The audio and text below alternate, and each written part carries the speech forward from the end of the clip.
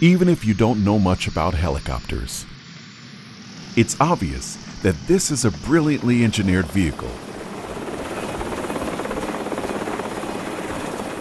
The end product of extensive planning, superb technique, and a clearly defined purpose. The same holds true for this Maple Seed, a biological helicopter constructed not only to fly, but to ensure future generations of its species. Its story begins here.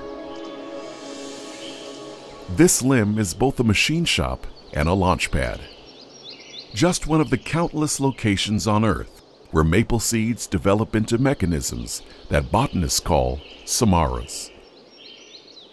That's the technical name for a dried fruit with one seed and a paper-thin wing.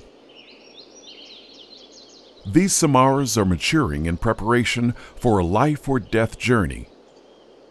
In order to avoid competition for growing space, water, and nutrients, they must each transport their precious cargo away from the shadow of their parent tree.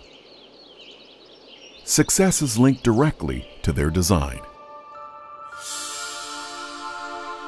About 90% of the Samara's weight is concentrated in the seed that forms its center of gravity, while its wing, that weighs only about one-tenth of a gram, is flat, thin, and asymmetrical.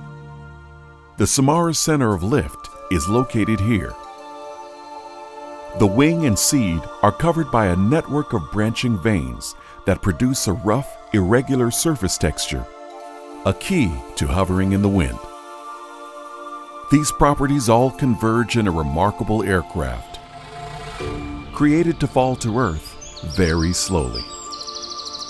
That's an attribute essential for long-distance travel, and when conditions are right, a maple samara can sometimes stay aloft for more than a mile. Let's take a closer look at the physics behind their flight. When a samara drops from a branch, its heavy center of gravity flips the seed almost 90 degrees.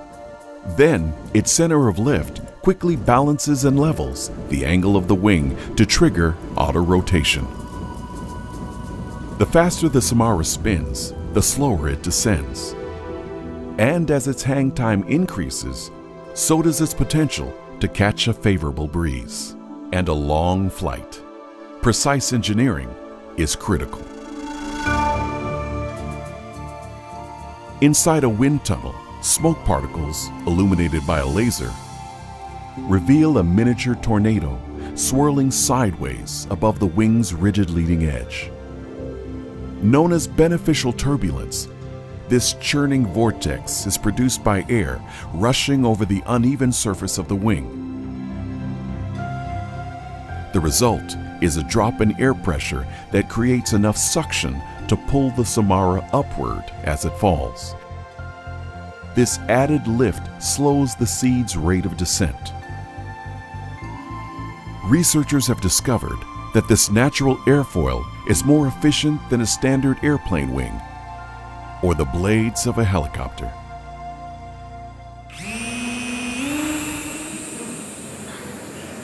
For two decades, interest in the Samara's aerodynamic structure has extended beyond the science of biology.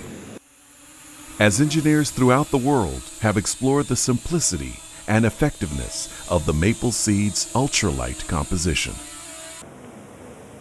They have developed a variety of prototypes for miniature single-wing drones that consume nominal energy during flight. When equipped with cameras, possible applications include versatile low-profile surveillance, rescue operations, and the tracking and control of forest fires. Once again, nature inspires technology. Wing texture, aerodynamic shape, and precisely aligned centers of gravity and lift, all working together to enhance the process of a seed's dispersal. By any definition, this is an engineered system and much more.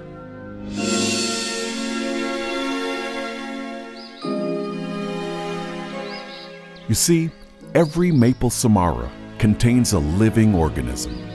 That means it's not only capable of flight, it can also grow and reproduce new life, generation after generation. Now that's an ability no helicopter or any other device of human invention can come close to replicating.